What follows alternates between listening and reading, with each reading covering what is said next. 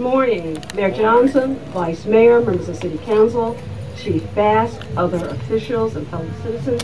Anita, today is a momentous time in the history of this city, state, and nation as we witness the dedication of approximately 70 plus acres of land to the Nansemond Indian tribe from the city of Suffolk.